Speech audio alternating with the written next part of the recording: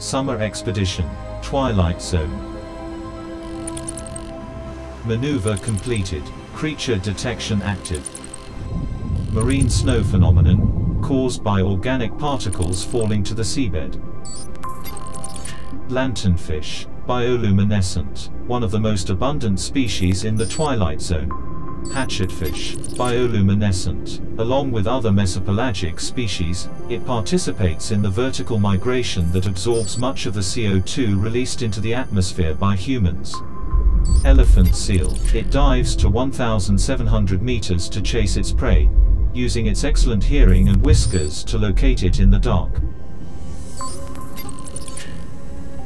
Lancetfish, one of the largest fish in the zone. It eats everything, even members of its own family. Tuna, the world's most traded species, which feeds on mesopelagic species.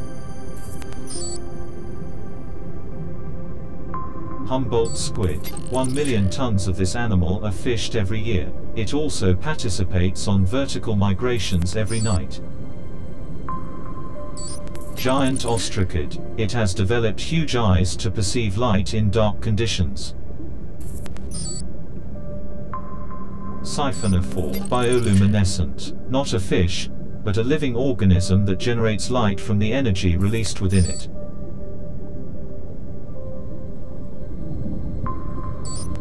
Sea angel, unlike the sea butterfly, it has no shell.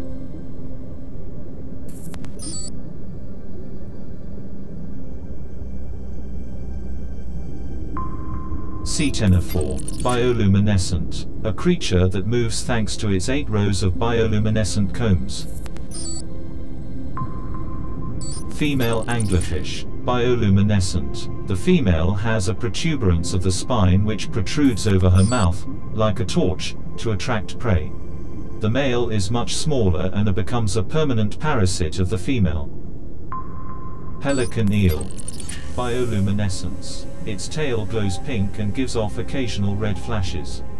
An animal that can swallow a fish larger than itself.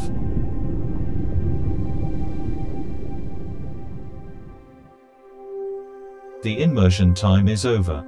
See you on the next summer expedition.